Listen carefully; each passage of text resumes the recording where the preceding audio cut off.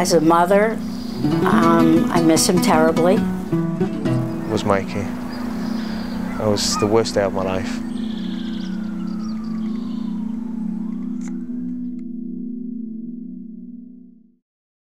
He was just a normal kid. The only difference is he knew at a very young age what he wanted to do. He knew he wanted to come to Israel, he knew he wanted to join the army. First of all, the first day he, he put on his uniform, that's one of the most exciting days of your life. מהר מאוד דיבר וחי ונשם אה, ישראליות.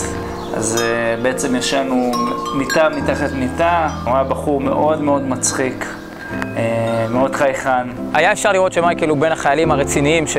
שהיו לי. תמיד היה מוכן לעשות כל מה שהייתי מפיל עליו, ולפעמים היו לי דברים לא פשוטים. במצבים הכי כיפים והכי משוחררים, וגם במצבים הכי קשים, שומר על החיוך, על ההומור.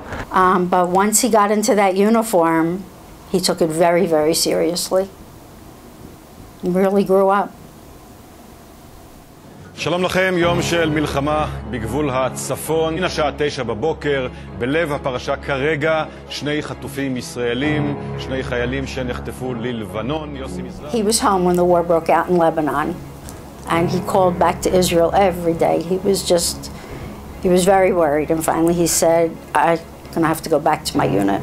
כבר היינו בתוך לבנון, אה, נלחמנו בגזרת בינג'בל, מייקל חזר לארץ, וזה היה לו ברור שהוא חוזר בשביל להיכנס. הדבר הראשון שהוא אומר לי, אני איתכם, אני עכשיו נכנס, אין מצב שאני נשאר בחוץ עוד פעם. I personally was one of the last people he spoke to. He said to me, Shui, I'm going in. I said, listen, I just want you to know that I love you. If anything happens, you know it. If not, well, I'll see you when I come out. I said, ah, don't, don't worry about it. I'll see you in a couple of days. He called us on Sunday, and he said, I can't talk to you anymore. Do you understand what I'm telling you? And I just didn't think anything would happen to him. בגדול המשימה הייתה לטהר את, ה... את העיירה. אז אנחנו בעצם נכנסנו בידיעה שאנחנו הולכים אה, להיתקל עם אויב. אחרי כמה דקות אני שומע בקשר שגם המ"פ וגם הסמ"ך נפצעו. אז בעצם אני מתחיל אה, להתקדם עם המחלקה, איך שאנחנו מרימים את הראש, מתחילה עלינו אש. נתפסנו על איזשהו אה, בית, בעצם אה, התארגנו מעט להגן על עצמנו. עשינו איזושהי סריקה לוודא שהבית ריק מאדם, הגיע איזשהו מחבל לקרבת הפתח ונתן פשוט צרור לתוך הבית.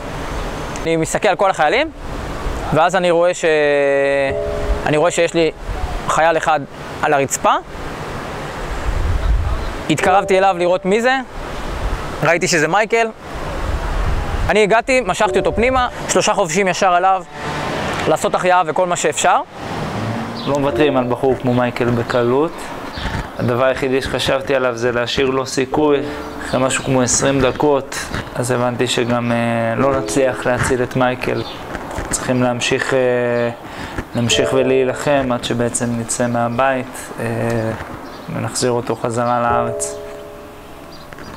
My rabbi showed up with the Israeli consulate. And they took me into my boss's office and shut the door. And they told me. Um, I was the first to find out. חבר שרק לפני רגע דיברת איתו על הכל וצחקת איתו ורגע אחרי זה אתה הולך לבקר בהלוואה שלו, זה משהו שהוא לא נתפס ולוקח קצת זמן עד שאתה באמת מעכל את זה. That, that, was a, that was a bad day for me. It was the worst day of my life, definitely, by far. Was Mikey.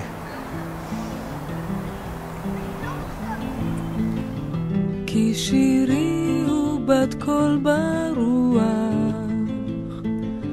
מכתבי השלוח, מסילת חיי, געגוע את תפילותיי. כי שירי הוא עלה ברוח. As a mother, um, I miss him terribly. For him, it was an honor to serve Israel. It really was. אה, וכמו שהוא שילם בחיים שלו, אז אה, כל אחד מאיתנו צריך אה, לבוא ולעשות אה, מה שהוא יכול בשביל המדינה. The cemetery is filled with Michaels. Um, his life is no more special to, than any other mother that lost their child. And that's the price we have to pay to have a homeland, unfortunately.